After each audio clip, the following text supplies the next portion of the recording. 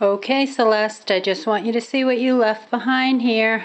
These sad dogs that miss their Auntie Celeste.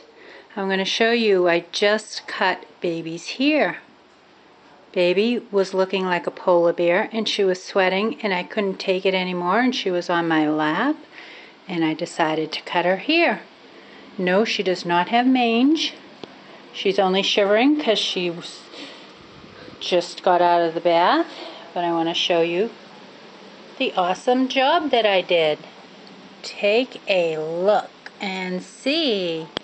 Look at this. See this little puffy here and this long here. And look at her face. You can see her eyes. And she's very upset that her mama did this to her.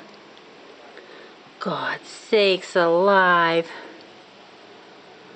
She has an appointment next weekend to get shaved. It only took to the year 2020 to get it. But anything is going to be better than this. And I know she's cool. She's not talking to me. That's why she's not looking at me.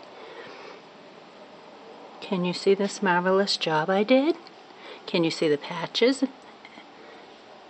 Al said that she looks like she has mange. But he, I think she looks adorable. Baby, do you... Baby, look at Mom. Baby. Hey. Say cheese. And boy is next. And wait till you see how furry and yucky he is. Ah! There he is.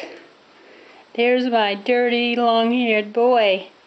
So we'll have to see before and after he doesn't let, look at that dirty face.